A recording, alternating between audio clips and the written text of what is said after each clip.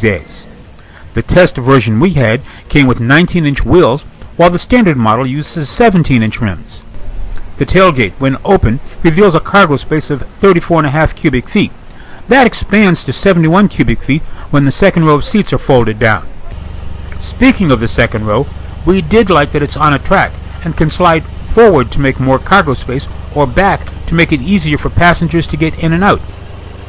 Front seat passengers, of course, get the royal treatment with plenty of space and access to the center stack for climate and entertainment system controls.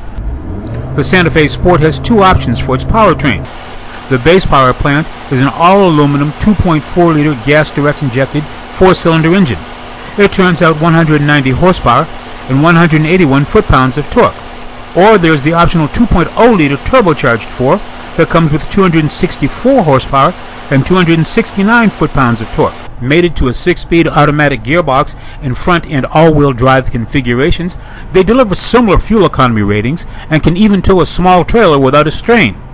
We found the ride and handling to be better than the last generation of the Santa Fe, and while not quite a luxury experience, it will be more than adequate for daily commuting for a long time. In short, it has become the station wagon of its time, a multifunction vehicle that can be passed down to the next generation of drivers. This is Greg Morrison. We want to know what you think, so email us. The address is bumper to bumper TV at cs.com.